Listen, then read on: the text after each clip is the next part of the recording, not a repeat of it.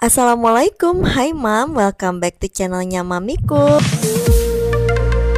apa kabar mam semua hari ini? Harus sehat dan tetap semangat ya. Kali ini aku mau sharing belanja bulanan lagi Di dua tempat sekaligus ya mam. Ini aku satuin tapi nggak semuanya aku rekor. Jadi aku kalau belanja bulanan itu biasanya untuk makanan dan semikal-semikal gitu terpisah. Kali ini aku mau belanja buah-buahan dan makanan-makanan dulu banyakkan ya mam. Ini aku biasanya belanjanya di Geria atau di Jogja. Karena kalau buah-buahan sama makanan-makanan tuh lebih lengkap di sini dan harganya juga banyak diskon gitu mah. Apalagi di Jogja Junction kayak gini buah-buahan import semuanya ada. Aduh, bikin kabita. Kalau kata orang Sunda mah ya. Ini aku beli tomat cherry aja secara buah-buahan importnya mehong-mehong ya maaf. Insya Allah suatu hari ada rezekinya aku bisa beli dan nyobain semua buah-buahan import ini. Tapi ini ada juga buah-buahan import yang masih harganya terjangkau kayak jeruk. Ada buah tin juga. Tomat cherry juga di sini banyak banget pilihannya. Ada buah strawberry yang gede-gede juga tapi bukan dari Korea ya. Ini masih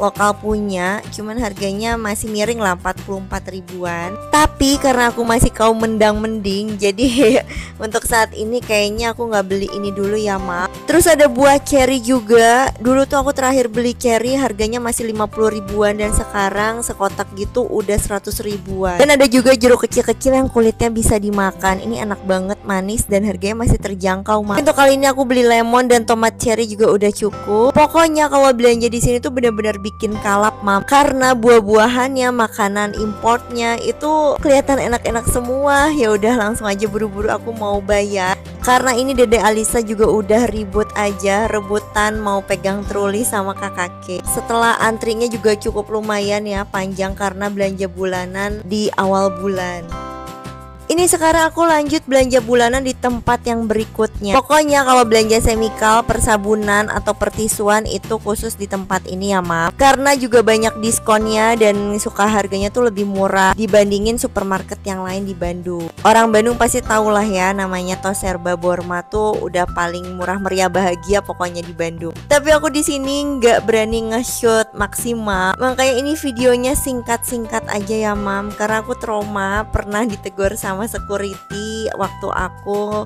ngonten belanja bulanan sebelumnya di sini. Jadi aku harus benar-benar hati-hati tag videonya. Makanya durasi video kali ini nggak panjang ya, Ma. Ini aku ambil sikat botol karena Dede Alisa tuh masih mimi susu di dot gitu ya, Ma. Juga buat nyikat-nyikat botol minumannya Dede Alisa sih. Biasanya aku suka ganti per tiga bulan sekali karena selain udah rontok gitu busanya juga udah takutnya mengandung bakteri makanya aku sering-sering ganti tiap berapa bulan untuk sikat botol. Mam semua gitu gak sih? Oh iya sempat ada yang komen waktu itu kenapa naruh belanjaannya dia lempar-lempar?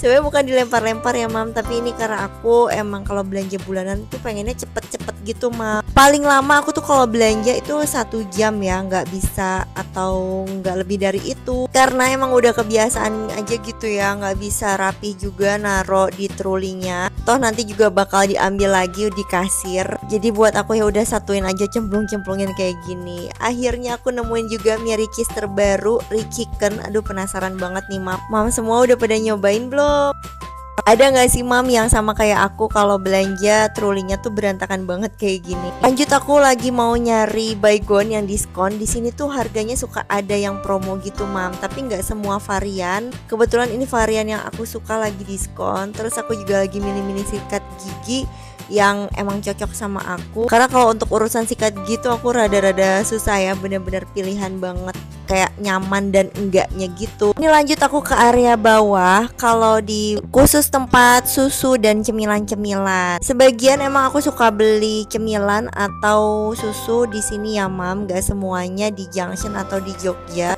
kadang-kadang ada juga yang harganya lebih murah di sini dan ada juga barang-barang atau makanan cemilan gitu yang gak masuk uh, produknya ke Geria atau ke Jogja. Ya kadang-kadang lupa juga ya mam. Pokoknya yang seingatnya aja sih sebagian aku beli cemilan di sini Alhamdulillah udah selesai belanjanya ini tinggal bayar-bayar. Lumayan cepet ya mam. Belanja bulanan kali ini juga nggak terlalu banyak sih. Karena masih ada beberapa item yang stoknya masih ada. Dan bayarnya juga kali ini lebih murah Dari dua tempat totalnya aku belanja sekitar satu juta tiga ratus. Yang biasanya dua tempat tuh bisa satu juta setengah, kadang lebih. Itulah kenapa sebabnya kita harus ngecek dulu stok barang yang ada di rumah sebelum mulai belanja bulanan. Sampai di sini dulu sharing dan vlognya Mamiko kali ini. Mohon maaf kalau ada yang kurang berkenan, kesempurnaan hanya milik Allah. Thank you for watching. Assalamualaikum warahmatullahi wabarakatuh.